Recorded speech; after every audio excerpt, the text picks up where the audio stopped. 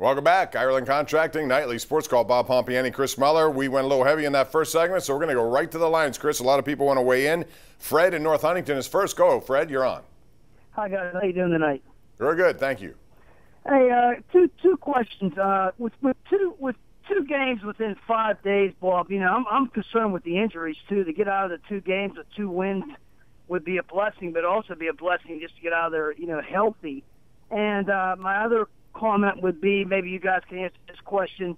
Uh, the bowl season for college college football, do they plan on doing the same amount of bowls, or is it cut in half, or how are they doing that with the college bowl season? Whatever's left, they I see the Pinstripe Bowl got canceled. We'll get to that in a second. Sun but Chris, Bowl got canceled too. well, hey, it's been a gloomy kind of Second year. long. Well, that, I makes say sense. that, Bob. I say that because it's the second longest running bowl, continuous running bowl to the Rose Bowl. It's been played 86 straight years. Uh, that's And kind Pitt of a has bummer. played in even though- 85 straight uh, Sun Bowl. So where are they going to play? I was going to say it's between it's between the Sun, the BBVA Compass, and maybe the Belk Bowl. But they should have probably canceled the Sun Bowl for good after Pitt Oregon State many years ago. Uh, by the way, if you're worried about the whole two games in five days, I get that. But what were they going to have if they had Steelers Ravens Thursday night? Right. I mean, it was going to be two games in four and a half days. The real problem here is three games in 12, which is what they're looking at after that Washington game. That is a brutal, brutal stretch. And I know they've weathered everything to this point, but man, outside of not having to see Jackson in this game, if and when it's played, this is not an easy run for the Steelers in a season that's been full of bad runs for them. Yeah, I'll give Tomlin credit, though. He somehow has finagled some time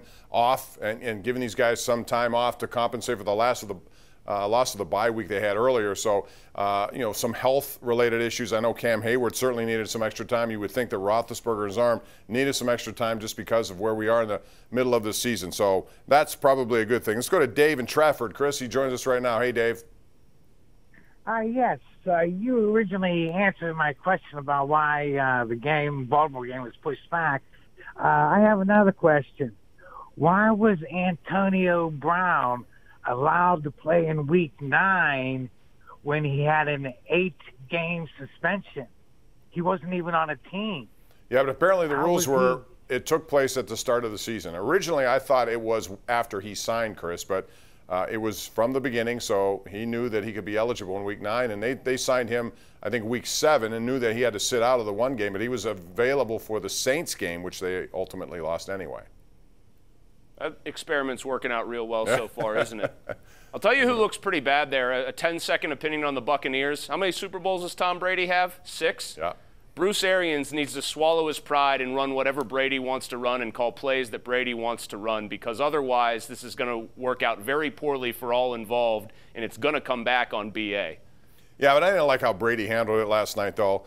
I mean, he walked out of a question that was, I think, legitimate, people wondering question, Chris, and um, he just looked like He's a uh, whiny baby. and He's being a whiny baby. And it's whiny not the baby. look that he needs. And I realize he has standards that other guys have never met, and he's operating under that. I get it. But at the same time, he's also the face of that team, and he needs to act a little bit better than he did. Let's go to Tim in Pittsburgh. Tim, welcome to the Sports Call. Go ahead.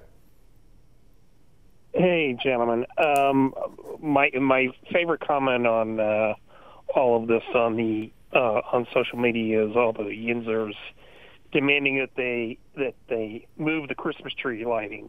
Um, I think the city of New York and uh, uh, you know the people that own Rockefeller Center uh, are not going to worry about a uh, uh, about uh, you know Yinzers seeing their football game. Yeah, but it's, it's a national Um, I mean, thing. the- It has nothing to do with Pittsburgh necessarily. It's this is what Yeah. people around the country want to see, and now it's 3:40. Out west, it's 12:40. People are going to be at work. Those who do still work, or if, even if you're working at home, Chris, it's the wrong time for this game to be played, given everything that's been built up. I agree. So that's why what you should do in protest is not listen to the broadcast on TV, mute your TV. You know, you could turn it on or whatever, and then make sure you turn on the PM team on 93.7 The Fan and let us provide sort of a running, entertaining commentary on all the proceedings. That's my suggestion Well- uh, to the Pittsburghers out there. It's a bad time to have a radio show. It's also a bad time to have sportscasts going on at the same time, but this is where we are. Well, you need it at 4:15 when Andrew Fillipponi heads in for the uh, sports desk hit. You need to make sure you're right here on KDK. You know, you're on KDK TV, making sure you catch that. That's my point here. And then maybe Right. you leave it there and just listen to the PM team. Sure. All right, let's go out to Seth and Carrick. Hey, Seth, welcome to the show. Go ahead. Hey, Bob, Chris, love the show. Uh, how you guys doing? You guys are fired up tonight. Well, it's one of those nights, you know. And I'm I'm fired up too. But my question is, uh, whenever I tune into the game on uh, Chris's station, uh, do you think there's any kind of chance that it's going to be postponed again? I don't see it, but if it is, there should be a forfeit. I'm Absolutely. sorry. Thank you. Because the Ravens were the ones who started this whole thing by violently, not violently, by willingly, you know, going against the protocols. This guy knew what he was doing, and yet what, what I don't understand, Chris, is how did they not know at the time? If he's not wearing a mask in there, how is he allowed to even operate on, or not operate, you know, deal with players not wearing a mask. If he didn't have the bracelet on, aren't they supposed to know when that thing's on and off? How did they allow that to go only after the fact did they say, well, we're going to discipline him now? They must have known. Yeah, I mean, I, I also like when this guy gets named in public because we all know who it is. Steve Saunders, flagrant disregard for the protocols, should be fired. I'll happily call for his firing. I don't care. They should fire him.